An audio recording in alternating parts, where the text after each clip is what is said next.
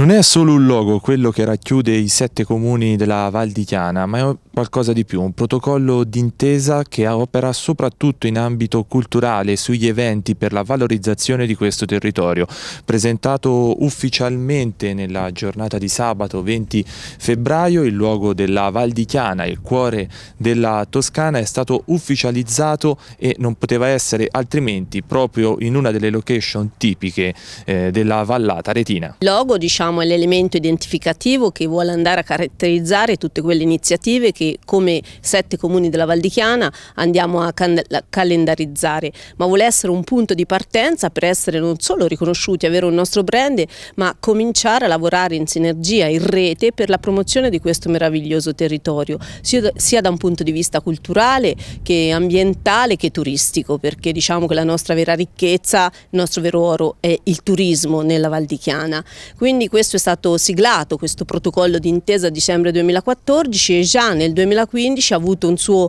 primo grande appuntamento che ha dato anche importanti risultati che è stata la partecipazione dei comuni della Val di Chiana all'Expo. Avevamo una nostra area sui Navigli dove per cinque mesi abbiamo presentato a tutti i visitatori le bellezze del nostro territorio. Quali sono state le prime azioni che avete messo in campo?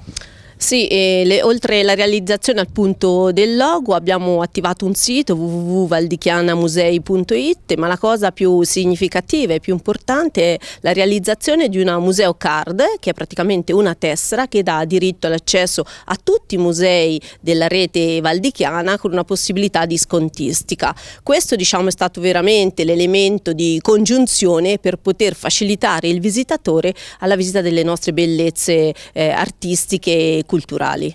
Soprattutto mai più sovrapposizioni di eventi anche tra comuni diversi, almeno in Val di Chiana almeno in Val di Chiana, esatto. Altro obiettivo è proprio questo, cioè a partire dal 2016 una calendarizzazione degli eventi comunali, perlomeno quelli di maggior rilievo, in modo tale appunto che non ci sia sovrapposizione e che tutti i nostri cittadini non solo possano godere in pieno di tutte le iniziative che mettiamo in campo.